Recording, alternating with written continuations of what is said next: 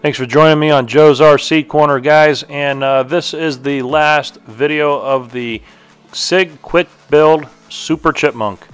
Uh, it was a long journey, but I learned a lot, and I appreciate everybody's support, including my father. Thank you, Dad.